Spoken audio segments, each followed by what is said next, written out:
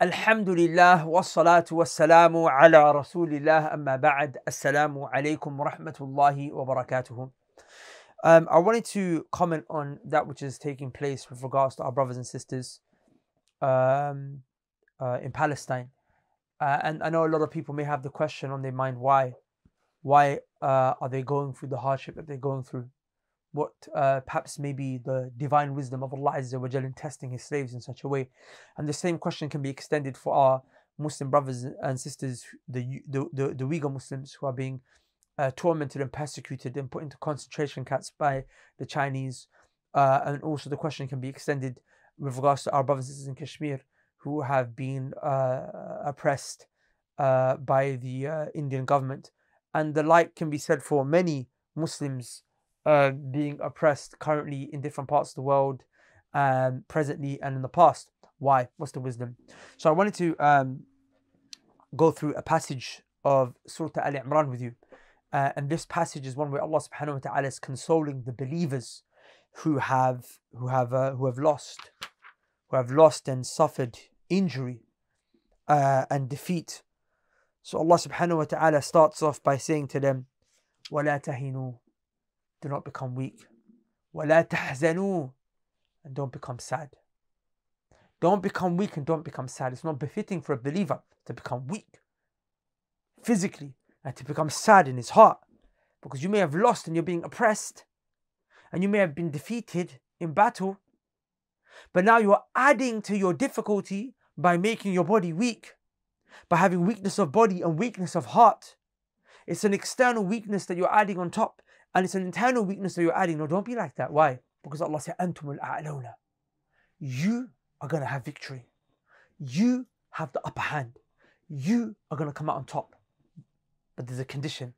In kuntum mu'minin. If you're indeed believers, if you're a true believer, you're going to come out on top. You're going to have the last laugh. As Allah said in another verse. وَالْعَاقِبَةُ لِلْمُتَّقِينَ The final ending, the final outcome is for the people of taqwa, for the people of piety. So don't become sad and don't become weak because Allah is going to give you victory. Allah is going to give you victory. Now, this, what you've experienced, is just a loss, it's a wound. But this is not you having uh, lost completely. No, this is just a hiccup on the way. It's a hiccup. As Allah says in the next verse, Allah subhanahu wa ta'ala, He said, Allah said, if you have experienced a wound, if you're suffering today, if you've been inflicted, know that they have been afflicted as well. If you got injured today, know that they've been injured as well. So Allah subhanahu wa ta'ala is telling you that don't think that they're not suffering. You today, all Palestinians are suffering. You today, all Kashmiris.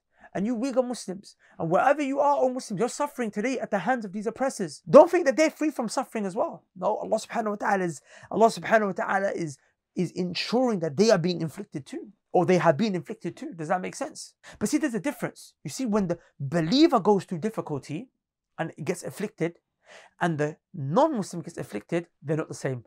Allah subhanahu wa ta'ala said, Allah subhanahu wa ta'ala said, uh, ولا تهنوا في ابتغاء القوم إن تكونوا تألمون فإنهم يألمون كما تألمون. Another verse, Allah subhanahu wa ta'ala said, if you feel pain, know that they feel pain. They feel pain the way that you feel pain. وترجون من الله ما لا يرجون. But you are hoping from Allah that which they don't hope. For them is the fire in hell that will burn them. For you, inshallah ta'ala, is gardens of paradise, O believers. O believers who have been subjugated to oppression from these people. So Allah subhanahu wa ta'ala is telling you, if you feel pain, they feel pain. But for you, this pain leads to Jannah, inshallah ta'ala. For them, this this this this will take them to the hellfire. And then Allah consoles them further. He says, وَتِلْكَ الْأَيَّامُ نُدَاوِلُهَا بَيْنَ النَّاسِ This world, Allah says, sometimes we give you victory, sometimes we give them victory. Sometimes we place the Muslims on top, sometimes we place the kuffar on top. That's what the dar of the dunya is like. You see, when you see Allah is trying to teach us a lesson here. In this world, you having the upper hand doesn't mean that you're special, nor does it mean that you're hated. Allah subhanahu wa ta'ala gives the kingdom, He rather gives from His kingdom in this world to righteous people, He gives it to non righteous people, He gives it to pious people, He gives it to sinners, He gives it to just people, He gives it to oppressors, He gives it to Muslims, He gives it to kuffar. But the next life is only for the believers. The next life is only for the believers. Here, وَتِلْكَ الْأَيَّامُ نُدَاوِلُهَا بَيْنَ النَّاسِ Like that, we give them the upper hand, we give you the upper hand. One day you have victory, one day they have victory. But the next life is only for the believers. So in there is actually two things that a person can find hope for. One is that inshallah next life will have complete victory inshallah ta'ala. But also in this life, we're not going to be subjugated forever. No, Allah changes it. I mean, take Jerusalem. Wallahi, Al-Quds is a perfect example. Palestine is a perfect example. At the time of the Prophet Wasallam, who governed it? The Romans governed it, and these people, they were, you know, they, they, were, they were Jews, they were Christians there. Then Umar radiallahu ta'ala anhu, he conquered it. And then after Umar radiallahu ta'ala anhu conquered it, after centuries, and they snatched it from the Muslims. And then Allah Azza wa Jal, he brought Salahuddin al-Ayyubi rahmahullah ta'ala, who came in with the permission of Allah Azza wa Jal, he conquered it once more. Does that make sense? And then now what happened? Subhanallah al-Azim. After centuries more, they snatched it back from the Muslims. And once again it will happen that Allah Azza will give it back to us. And that's how it is. I mean, look, for example, at Tehran. Look at Iran. It used to be a land of, land of Sunnah. Now it's a land of Tashayyuh and Arraft. Does that make sense? And look, look, we had Spain, it's gone. Don't worry. All these things will come back to the Muslims, inshallah ta'ala. It will all come back to the Muslims. But Allah Azza wa He does that. So know that you will have it back in this life, inshallah ta'ala, when Allah wills. And you will have it, inshallah ta'ala, in the next life, definitely. Bi ta'ala, you have victory. But then, now, now, now here Allah subhanahu wa ta'ala is telling us what's going on. You know, if they feel pain, you will feel pain. Sometimes you have victory, sometimes they have victory. But why, Ya Rab? What is the wisdom? You've told us not to feel weak, that we will have the upper hand, you've told us, subhanahu wa ta'ala. You've also told us that if we feel pain, they'll feel pain. And then sometimes we will have victory and they will have victory. But Ya Rab, why? What is the wisdom? And Allah Azza now tells us some wisdoms. He says, وَلِيَعْلَمَ اللَّهُ الَّذِينَ آمَنُوا وَيَتَّخِذَ مِنْكُمْ شُهَدَاء The first thing Allah said, the reason why sometimes you're having victory and sometimes they're having victory and sometimes you're going through pain is so Allah subhanahu wa ta'ala, it can become clear and He can make clear he can make clear the true believers. Why? Because if Islam was on in a constant state of victory, everyone would want to become Muslim. And people will become Muslim for the wrong reasons. And how would you know who's a true believer and who's a fake believer? How would you know who's a real believer and a fake believer? You see, a woman can wear niqab when everyone wears niqab. But when she's being attacked for wearing the niqab, is she going to take it off? A true believer will keep it on regardless. A man grows a beard because it's fashion. It's easy to grow a beard, but when people are telling him, take shave your beard, he keeps it on. Despite the difficulty, he is a true believer. If everyone prays, if you get paid to pray, if the whole community prays, then how do you know who's really praying and who's not? No, no. The way is that when the prayer becomes difficult. So when the deen becomes difficult, when it's difficult to be a Muslim, when it's difficult to practice your deen, that's when the real believers shine. shine and that's when the, the line becomes separated between the true believers and the false believers. So the first thing is, وَلِيَعْلَمَ اللَّهُ الَّذِينَ آمَنُوا The second thing is, وَيَتَّخِذَ مِنْكُمْ شُهَدَاءَ Allah subhanahu wa ta'ala, He makes the believers lose sometimes so Allah can take martyrs. You see, a shaheed is from the greatest manazil, is the greatest, is from the greatest ranks that a person can get with Allah subhanahu wa ta'ala. It's from the greatest ranks that a person can get with Allah subhanahu wa ta'ala. But how do you become a martyr if someone doesn't take your life away? So Allah subhanahu wa ta'ala is telling the believers, Allah wants to give you a high station, high station in the next life as a shaheed. But the way that uh, the whole process of becoming a martyr in the battlefield, about the march from the battlefield, is that you are you are killed in the path of Allah subhanahu wa ta'ala. So some people look at our brothers and sisters that are struggling and suffering, we say inshallah. We can't say for certain because Allah knows the unseen, but we say inshallah they are martyrs. They are martyrs. They are martyrs dying in the path of Allah subhanahu wa ta'ala. Do you see?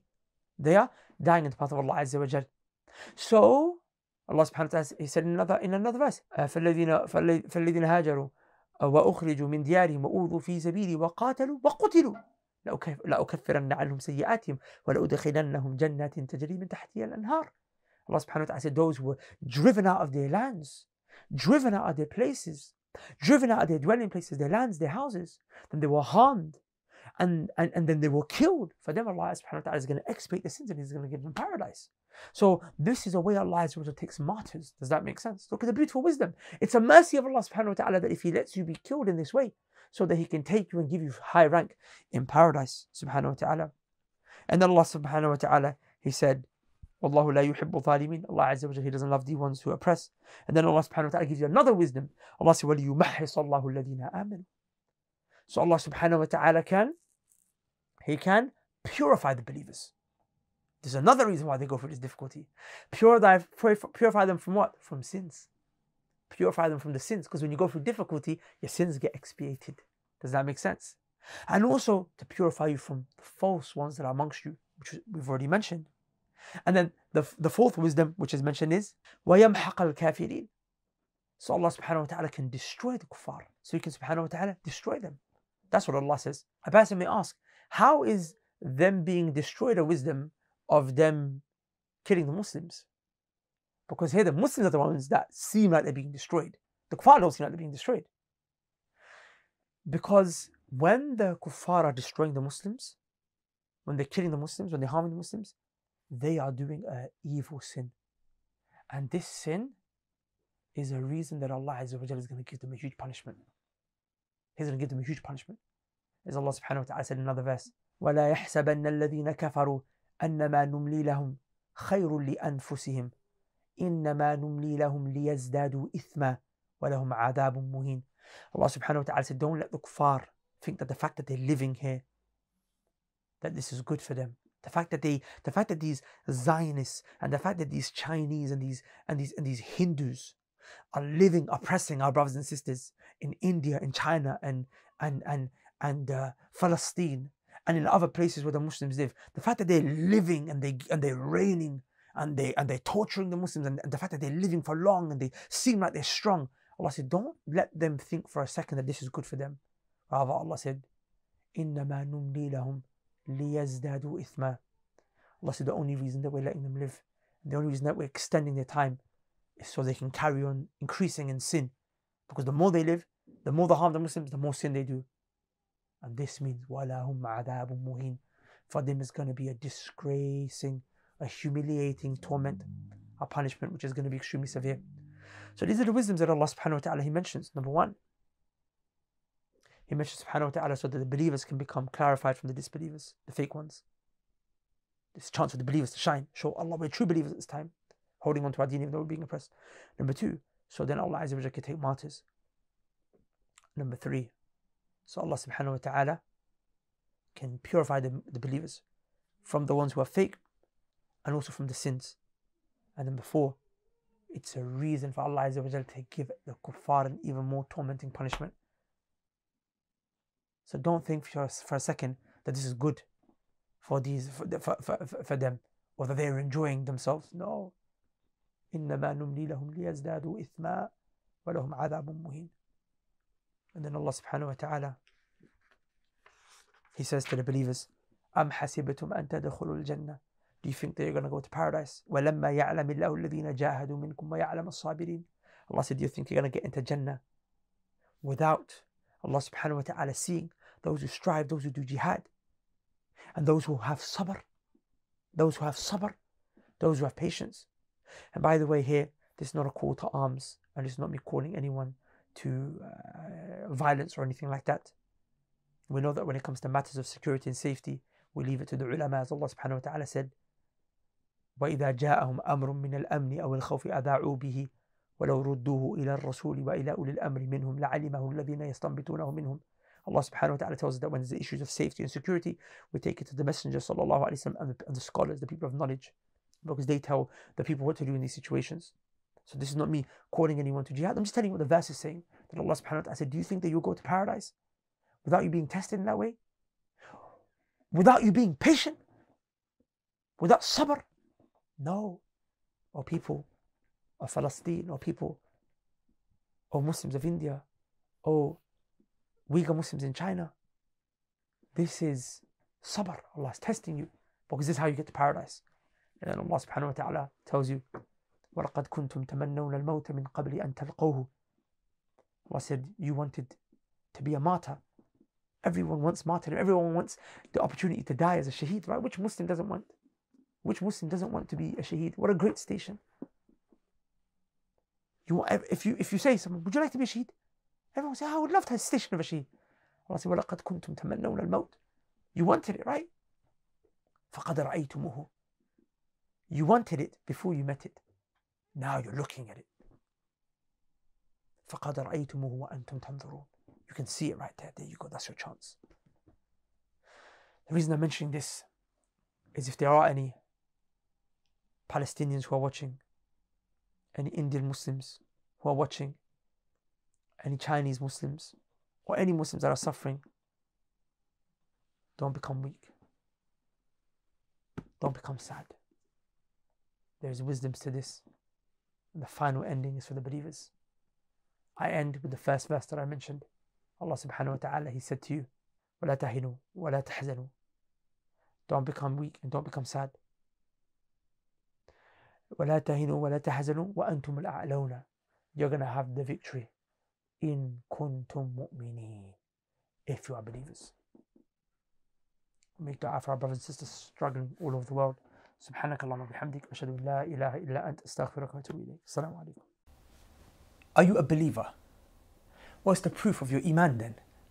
There's a beautiful hadith of the Prophet sallallahu alaihi wasallam in which he said, وَصَدَقَةُ burhan. Charity is a burhan. Burhan is translated as proof. But this is such a beautiful usage of the language that I must explain to you what the word burhan means. You see, the Arabs would use the term burhan to describe the rays of the sun because the sun is always there, but you only notice it when its rays reflect and shine down on the earth. And that's why the Arabs, if they wanted to talk about something which they called hujjatul qati'ah, a clear cut proof, something that was a clear cut evidence for something, they would call it a burhan, describing this proof as if it was like the sun out in the sky, shining with all of its glory onto the earth. And that's the word they use to describe proof. A proof that's so clear that it's blinding you with how clear it is. And that's the word the Prophet ﷺ chose to describe what charity does for the believer. You see, our iman is in our hearts, but also on our limbs. But a person on his limbs, he can be a hypocrite, he can be a munafiq. Charity is the thing that demonstrates that your iman is real. And if this is something that maybe didn't come to you before, and you didn't know how serious this concept was, I want to present you an opportunity that will help you. You see, the same way when you want to invest in business, you want to give to a business that's going to bring you a greater return. When you want to give charity, you also want to give in a place that will give you a greater return. Is there a return that can be greater than spending your money in the path of da'wah, in the path of La ilaha illallah, whereby funding da'wah projects, you're able to facilitate for people to come to La ilaha illallah. When that happens, you don't just get the reward of the money that you gave, but you get the reward of all that comes as a result of that money. The person comes to Islam, he learns wudu, he learns salah, he learns zakat, he learns siyam, he does it every day of his life for the rest of his life until he dies. He teaches his family members, he has kids, his kids have kids, the kids' kids have kids. All of that is on your scale. All because you gave what?